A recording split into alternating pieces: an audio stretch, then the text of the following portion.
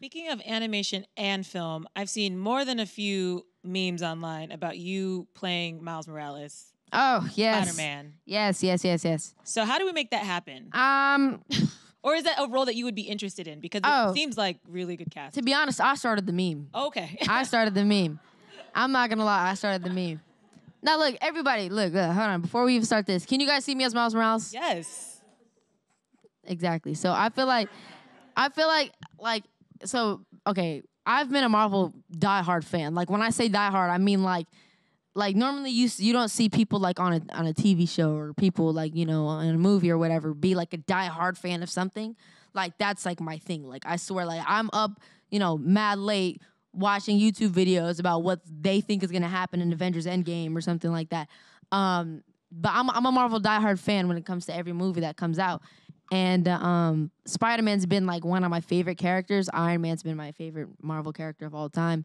But I've known Miles Morales was a thing. Now I've read comics and I've read a lot. I've read a lot of comics when it comes to Spider Man, and I've known Miles Morales was a thing before like any before was even in the cinematic universe, before anything, before Spider Man Homecoming, before Tom Holland was even Spider Man.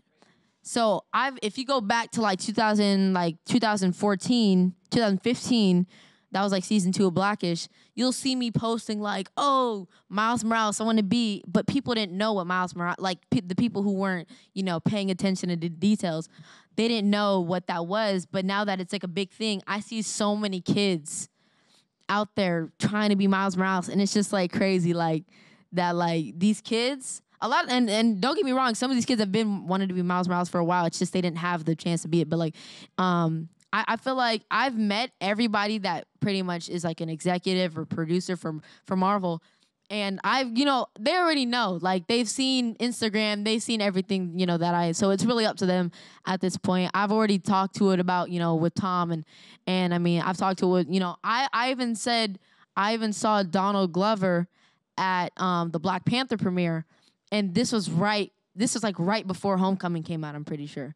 And I was like yo um I know you're because I it, it was already out that he was gonna be um you know uh, um the uncle. And I was like I, I really wanted to be Miles Morales. I just wanted to tell you I, I don't know if you could do anything. I'm just like you know I just wanted to tell you you know now that you're right here.